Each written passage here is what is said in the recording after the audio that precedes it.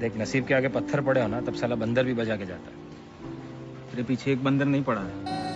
पूरी वानर सेना पड़ी है नहीं वानर सेना नहीं जामवंत की सेना है। तो साले बैर्स पीछे पड़े हैं। तो ठीक है हम भी बलवान है हनुमान है। अगर मेरी पूछ में आग लगाएँगे ना तो धमका तो उनकी भी ज़मीन